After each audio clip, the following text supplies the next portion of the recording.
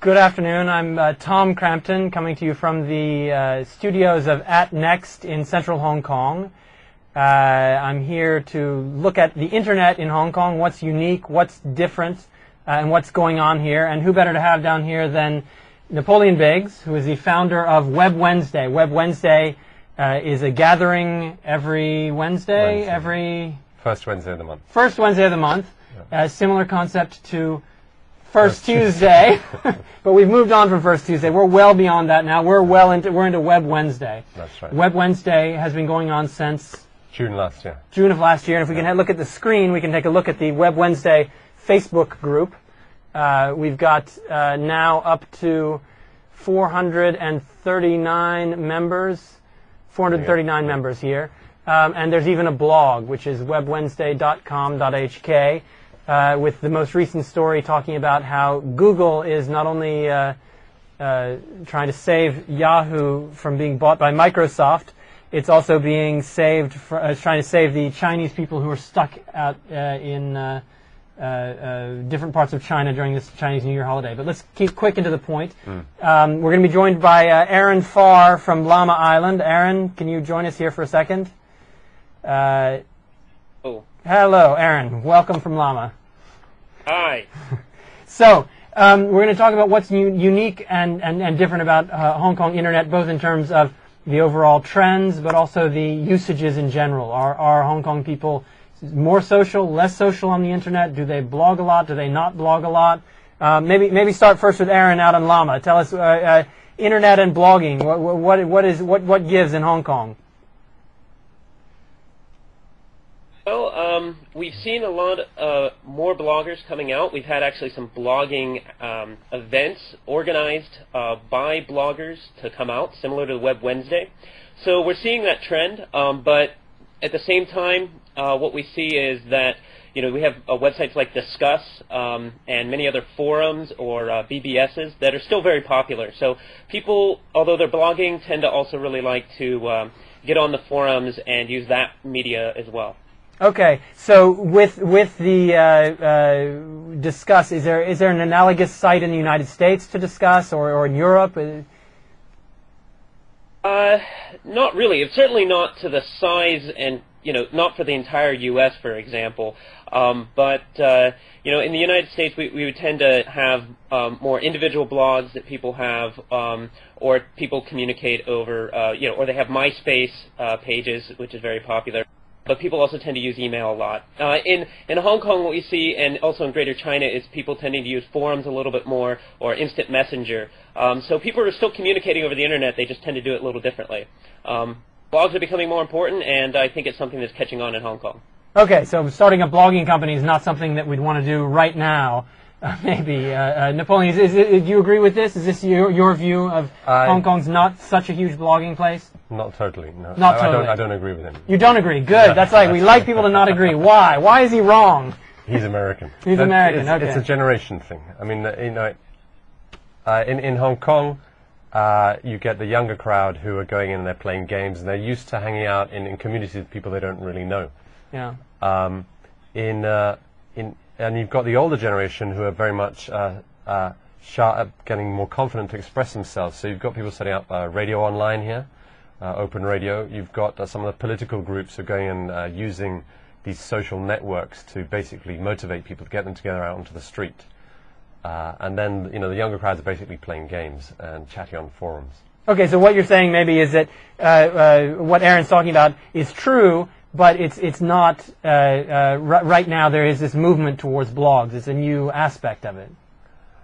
Uh, the, the blogging is, is a very American concept. I mean, you know, people on the internet here got on not through blogs, they got on through uh, instant messaging and through forums and through games. So the, there's a crowd of young people who are coming up who've been used to communicating in groups, uh, in games or in forums. For them to transfer across onto the blogging world, they have to be very, very opinionated or have to be motivated to do that or looking for commercial purposes.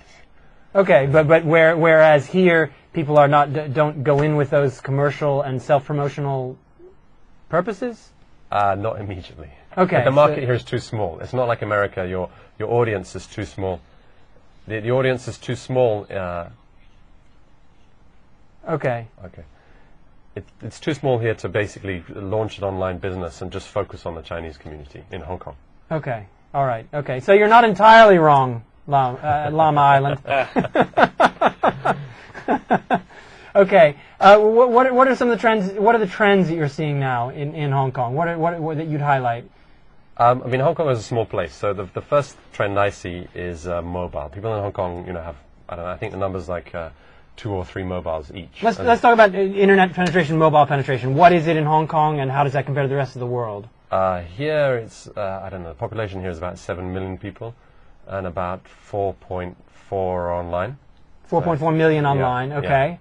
Uh, I don't, percentage-wise, I don't know Okay. And and, And uh, mobile, there's, there's like 9 million mobile phones. So more mobile phones than, than people. people, Okay. yeah. So what's the mobile trend you're seeing? Uh, well, in, in Hong Kong, the mobile trend is a fashion item, so you wear it, right? I mean, uh, Okay. since uh, the iPhone has come out, uh, people have hacked into it. So there's people in, in Hong Kong who have ha- hacked phones, but the uh, the content is very much what's driving a lot of these people. In terms of uh, they're trying to look at video, but it's still the the prices are too high, so they're playing games. I'm sure when you've been in MTR here, people are, are are playing games the whole time on their mobile Right. phones. Um, the social network side of it hasn't really come into the mobile arena yet. Okay. Uh, what, what are, are there any other trends that you can tell us about uh, beyond mobile? What about uh, in the, the kind of internet companies that are being built here? What, what are some of the homegrown internet companies that are unique to Hong Kong? Uh, probably on the, the back of uh, the youth here is uh, 3D animation. There's a big uh, move uh, supported by some of the tech groups out of Cyberport, and they do uh, 3D. There's a lot of 3D development going on here. There's people setting up 3D social networks. They're setting up uh, 3D virtual worlds. So that's all. All right, this is come on. We have name names. Name names? Name names. All right, Frenzoo. Frenzoo, is a 3D okay. social network. Frenzoo.com. Uh, and What does it mean to be a 3D social network? Is this? Uh, It means uh, that instead of going in uh, flat, rather like uh, Facebook or MySpace, you go in and you have a, a persona, an alternative persona, which is an avatar which you can spin around. You can see your buttocks, you can see your legs. You, can se- see this is Second Life. Wh- How is this different from Second Life? Is you can't fly and you can't uh, go and so it's a, a second. Second Life with less Movement. functionality. Yeah, Okay. Next company. but the graphics are much better. Next company, uh, a company called EditGrid. Edit Grid. They're okay. a startup out of Hong Kong. They actually have 50,000 clients all over the world. And they do something that sounds really boring, that's very interesting, online spreadsheets. So they compete with Yahoo, sorry, Google, and Google Zo- Documents. Yeah, Zoho is another one. Zo- what is Zoho? They Zoho? compete with Zoho. Okay, they compete with Zoho. Okay, uh, but they, they they seem to be something that they're not offering something unique or that different from them, or are they? They, What- they are unique? slightly different in that you can. Uh, Google's a bit closed, surprisingly. With Google, uh, to share a, an Excel spreadsheet takes a little bit of effort. Somebody has to sign in and use a, a Gmail account. With them, uh, you can pull in data from all kinds of resources. And they have one guy who set up uh, an Excel spreadsheet that has uh, the comparison of the stock market here and in North America, and it's had one million visitors over the last. Okay, two well, this seems like a very Hong Kong thing. What we're Yeah. talking about is is a, a a site that allows you to do a lot of financing things. Um, Aaron, any last uh, thoughts for, from from you on, on the internet here in uh, Hong Kong, or something you've learned? You arrived here from Pennsylvania, and you're involved in a startup. What is your startup? Uh, my startup is uh, Jade Tower. Uh, we're working on a product called Indie Arcade, which is online uh, gaming, creating and sharing your online games. And I'm also a director of the Apache Software Foundation, which is an open source. Okay, And I think the interesting thing is that we're seeing a lot of things like Web Wednesday and people coming from the internet and getting together and meeting one another.